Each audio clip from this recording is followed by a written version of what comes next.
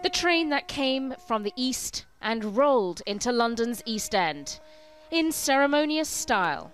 This is the first freight train from China's Zhejiang province to Britain, and its backers hope the beginning of a frequent service between the two countries.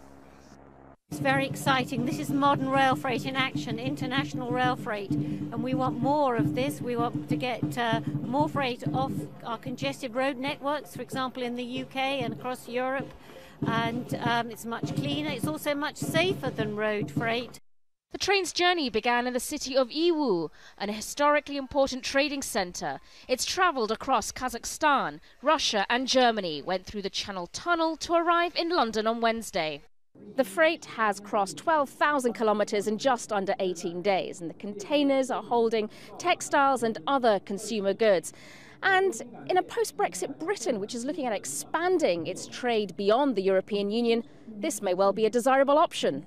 There is an increasing middle class in China of hundreds and hundreds of millions who are educated, internationalized, curious about advanced uh, engineering uh, products, about innovative, creative design, and that's something that the UK is particularly good at. This is a really, really key time for the UK to succeed in China.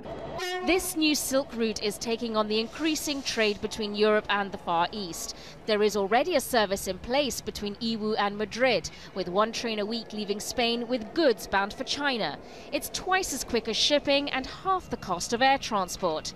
And it's an opportunity for EU countries to capitalise with their fastest growing export market. Trade between China and the EU amounts to about a billion dollars per day. The UK's trade is $70 billion per year. Out of that, it imports $55 billion worth.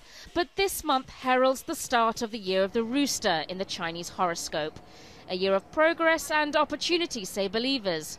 Certainly a hope for those batting for a UK looking beyond the confines of the European Union. Sonia Gallego, Al Jazeera, London.